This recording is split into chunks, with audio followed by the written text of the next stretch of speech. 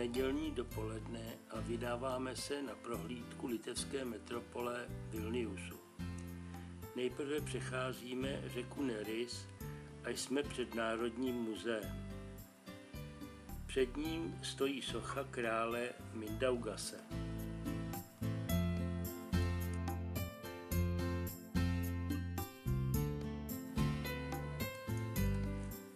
Muzeem se vypíná 48 metrů vysoký vršek, který zdobí symbol města Vilniusu, cihlová Gediminasova věž. Je to pozůstatek horního hradu. Věž nese jméno po zakladateli města a je z ní pěkný výhled.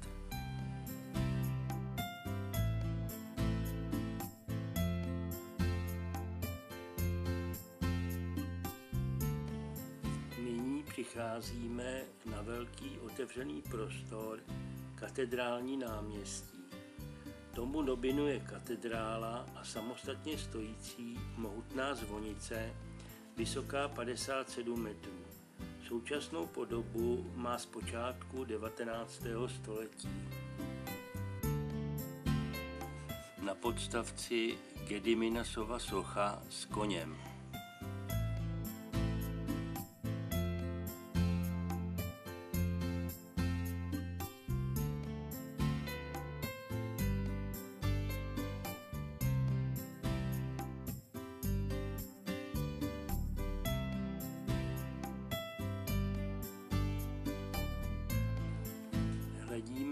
Hlavní portál katedrály, který svými klasicistními prvky, sloupovým a plastikami upomíná antický chrám.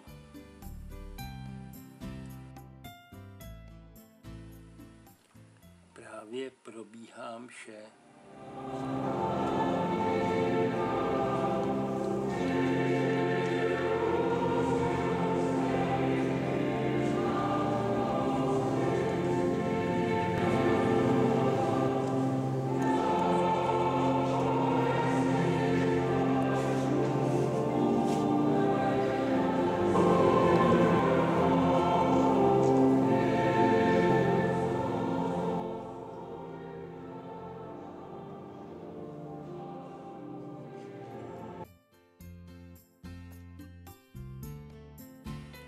přicházíme k prezidentskému paláci, což byla původně biskupská rezidence založená ve 14. století. Žil zde také slavný vojevůdce Kutuzov.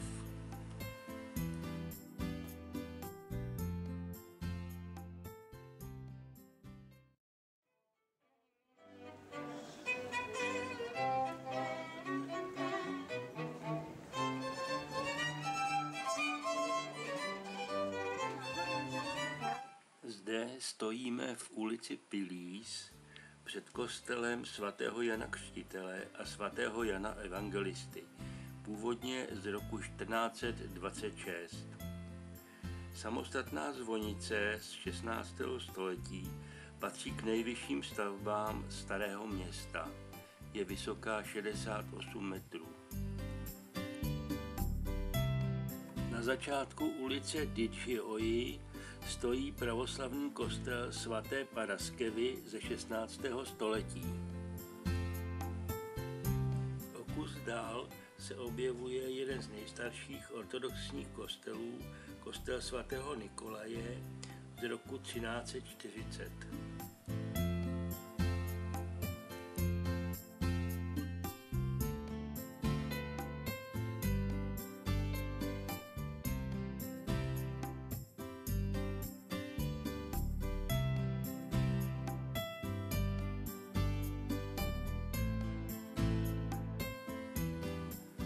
tomto domě žil slavný básník Mickiewicz.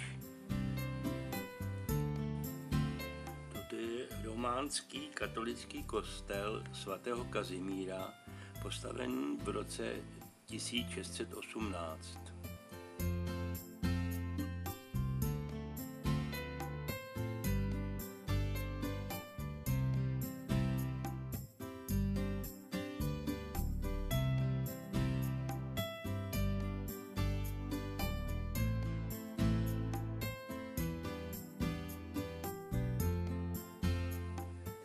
na malém náměstí stojí socha Jonasa Basanavičiuse.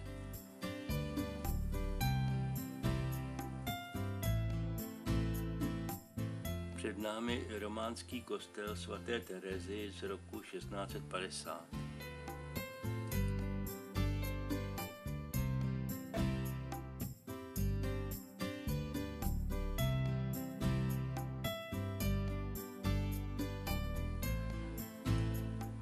malý park vstupujeme do ruského ortodoxního kostela svatého ducha, který byl v roce 1749 přestavěn v barokním stylu.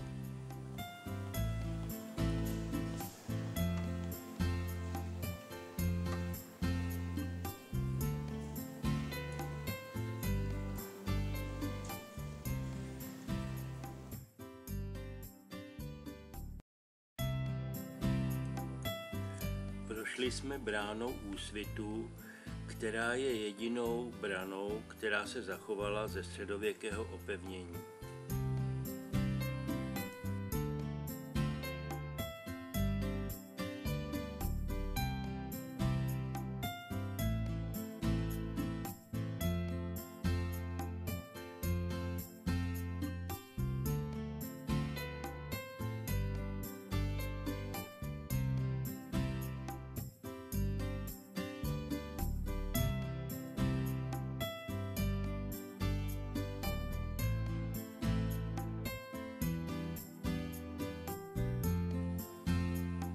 Břehu řeky Vili stojí katedrála na nebevzetí Pany Marie, založená v roce 1346.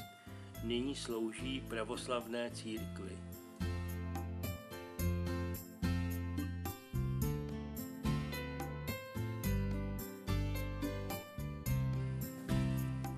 Před námi je dvojice pozoruhodných cihlových kostelů. Menší vlevo je kostel svatéAny, který patří k nejkrásnějším církevním stavbám ve městě. Vznikl v letech 1495 až 1501 ve stylu pozdní gotiky. Za ním stojí kostel svatého Františka a Bernardína, založený v 15. století jako dřevěná stavba, později přestavěn z cihel. Je směsicí gotiky, renesance a baroka. Na straně má osmibokou zvonici.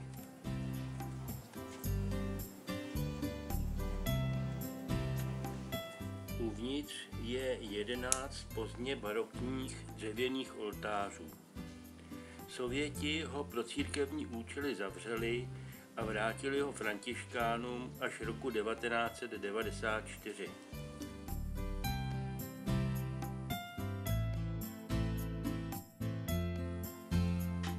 Ke kostelu přiléhá klášter, který od poloviny 19. století sloužil jako kasárna. Dnes ho užívá Akademie umění.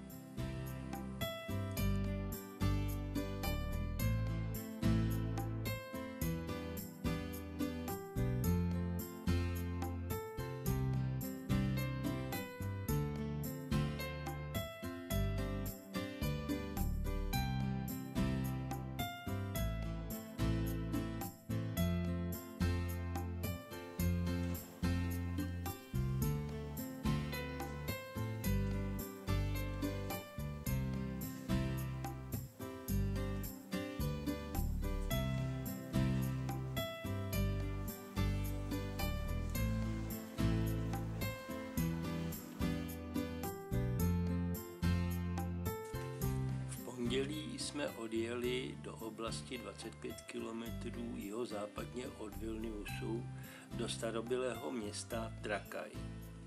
Zde se nachází stejnojmenný národní park, tvořený 32 jezery a hradem.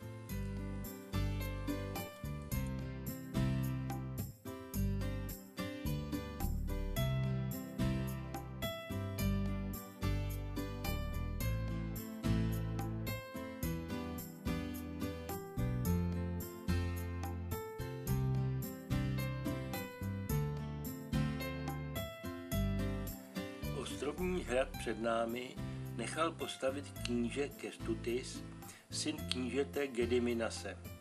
ve druhé polovině 14. století. Hrad tvořil součást obraného systému Trakaje a Vilniusu. Ještě nedostavěný hrad vypálili v roce 1377 němečtí rytíři. Kestitus byl zavražděn a dále v práci pokračoval jeho syn, kníže Vitautas, až v letech 1403 až 1409. V 18. století hrad chátral a k renovaci došlo až ve druhé polovině 20. století. Na nádvoří se pravidelně pořádají historické slavnosti, festivaly a koncerty.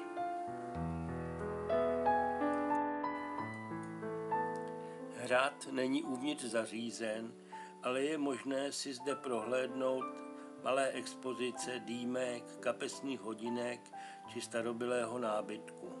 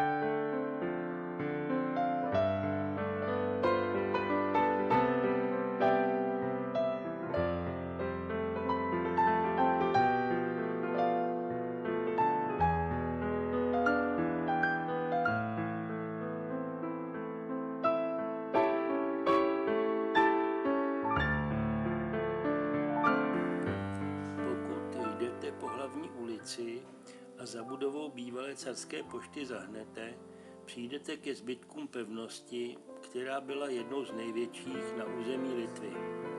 Hrad zabíral 4 hektary a měl 14 věží. Byl zničen v roce 1655 za rusko-švédské války.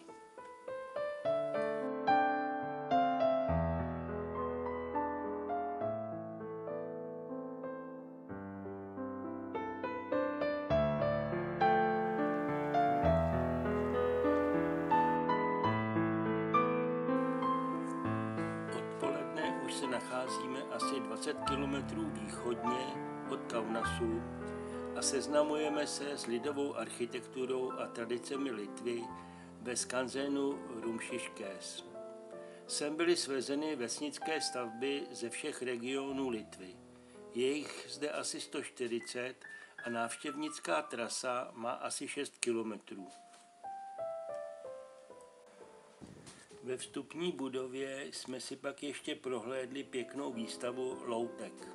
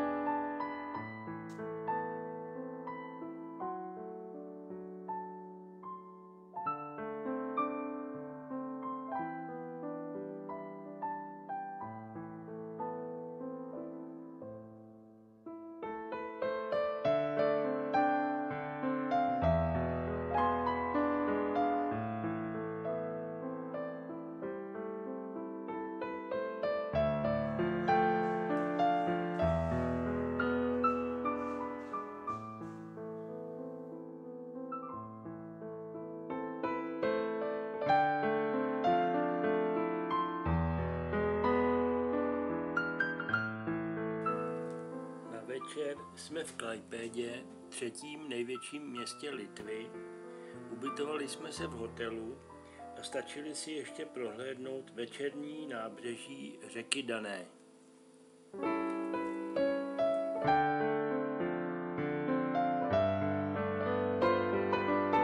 V úterý ráno plujeme krátkým trajektem z Klajpedy do Národního parku Kuršská kosa. Kurská kosa je unikátní místo v rámci Evropy. Morský záliv je zde dokonale přehrazen 97 km dlouhým písečným pruhem země. Šířka se pohybuje mezi 0,4 až 3,8 km. Litva se o tento poloostrov dělí s Ruskem.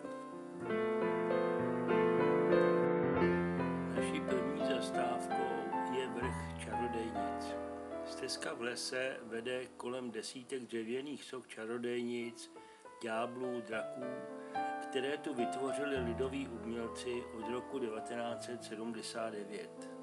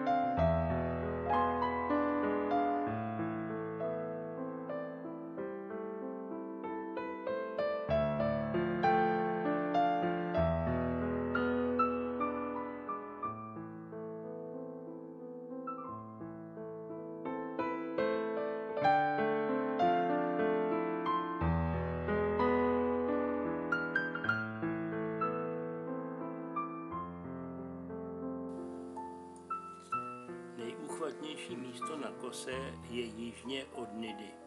Velká Duna Parnidis. Jedná se o jediné místo v Národním parku, kde se zachovaly driftující duny. Brodíme se zde v písku jako na poušti. Místy jsou zde také traviny. Z vrcholu je pěkná vyhlídka na záliv i písečné moře.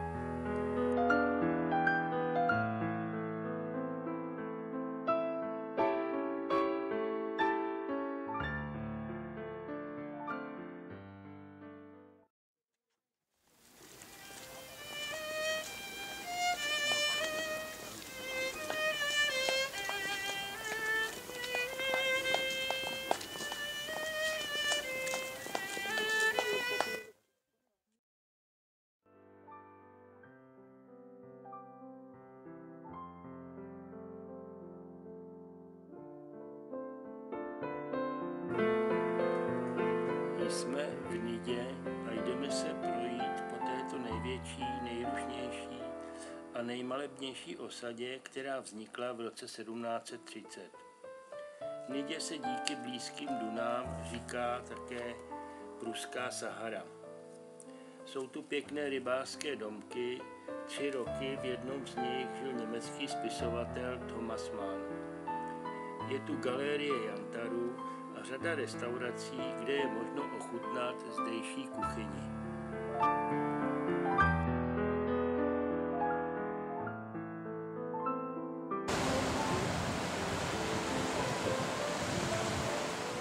Na večer jsme ještě na krásné písečné pláži u Smiltiné.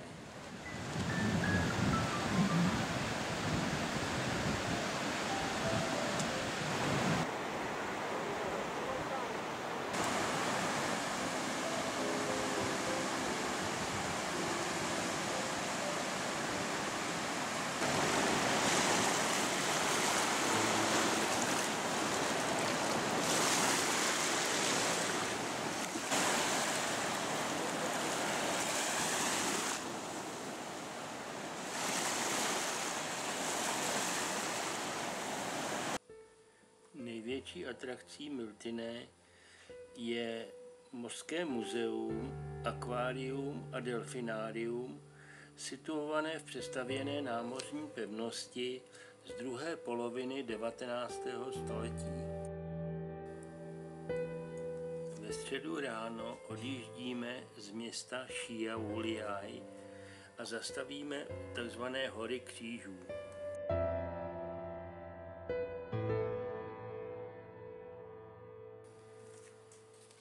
Se o nevysoký pahorek, který je cílem poutníků z celé Evropy, špičkovou turistickou atrakcí, ale především fascinujícím místem. Kříže všemozních rozměrů a materiálů jsou zde natěsnány jeden vedle druhého i jeden na druhém. Je jich tolik, že není kousek volného místa. Po kopci se prochází úzkou stezkou. Za ruské okupace byly kříže pravidelně ničeny i buldozery, vrch hlídala armáda i KGB. Kříže se na vršku ale vždy znovu objevily. V roce 1993 jsem zavítal papež Jan Pavel II. a nechal zde vstyčit svůj kříž.